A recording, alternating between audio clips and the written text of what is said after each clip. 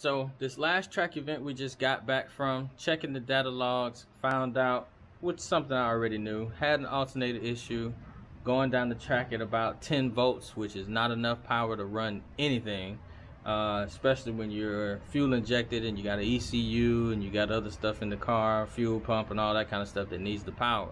It doesn't run at full full uh, voltage, and it doesn't get, you know, all that you expect from it. So uh, already on top of that, and you know, since the Crown Vic is not really a car that they make a whole lot of parts from, you got to kind of do some searching and read some forums and try to find a, a, a uh, solution to a problem that you probably normally wouldn't have if you was driving something like a Mustang or a Chevy.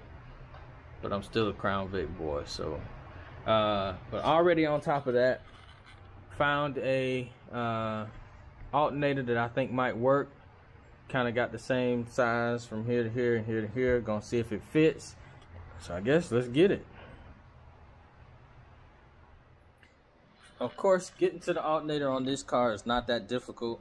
Um, just kind of got your bolt here that basically allows you to do your tension and then you got one down here that uh, holds it in place and then just take off all the wires there's all a bunch of wires right now you're gonna clean that up a little bit but take those off and then it comes right out. So that's easy. Bought an alternator didn't fit uh, didn't fit up right but found this one which is a 3G so it's the right type that I want to switch to and uh, got it to fit had to uh, use the uh, the tap set to kind of get some bolts to fit up and everything. But as far as a mock, as far as uh, fitment, like how it fits in here, like you know, in here and will it screw in here and stay tight? This one works. So now, difference is the uh, connections and everything on the old one sat right here.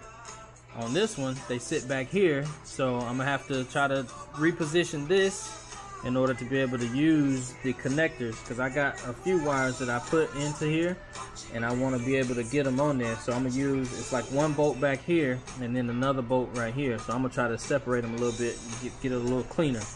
Go ahead and do that but from the looks of it we're gonna be able to get some charge now.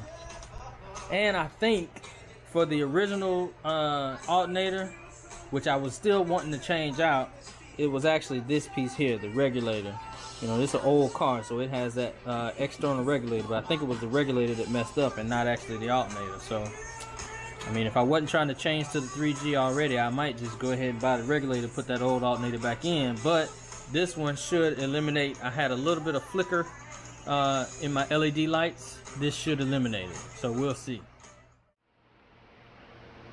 All right, so it's in now. Let's see if we can crank this thing up and see if it's charging.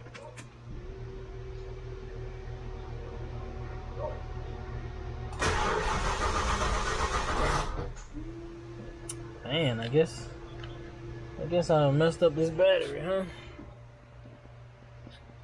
I can't even get it to jump.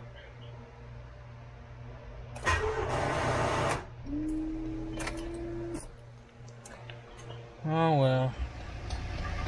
After charging the battery, the motor crank is running, and it would appear that the uh, alternator is doing its thing up here.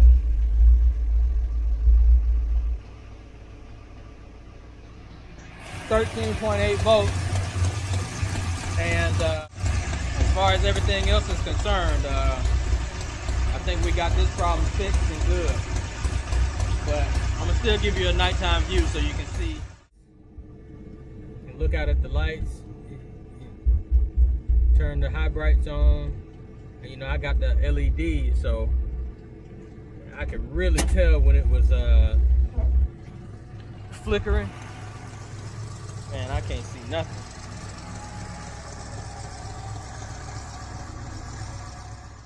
Right, and I came up to the uh, gas station right up the street.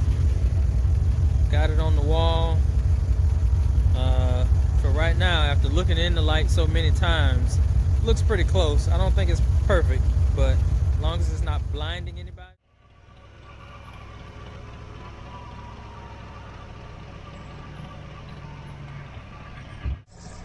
So I would say no more flicker. That's definitely a success to me. So if you got one of these old Fords and uh, you can get yourself a 3G alternator, go ahead and do it. Because I don't have a, a, one ounce of flickering anymore.